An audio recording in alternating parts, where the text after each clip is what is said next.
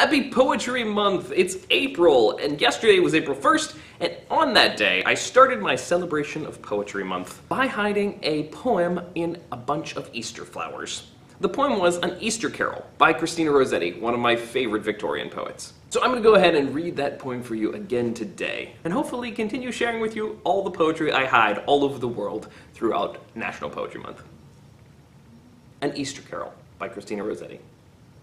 Spring burst today, for Christ is risen, and all the earth set play. Flash forth, thou sun, the rain is over and gone, its work is done. Winter is past, sweet spring is come at last, is come at last.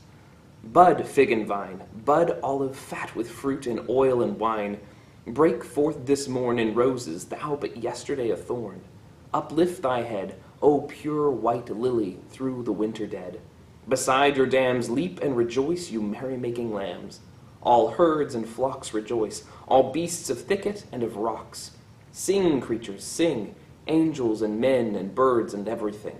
All notes of doves fill all our world. This is the time of loves.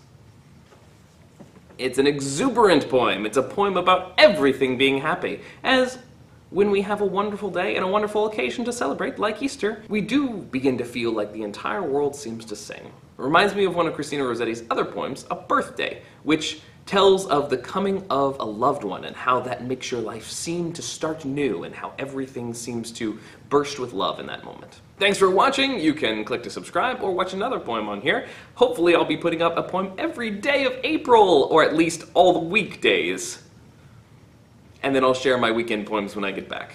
Have a wonderful National Poetry Month, and I hope that you find great ways to celebrate. I recommend finding poems you love and hiding them all over the world, so other people can find poetry in the tomatoes at the grocery store. I'll see you next time. Bye-bye.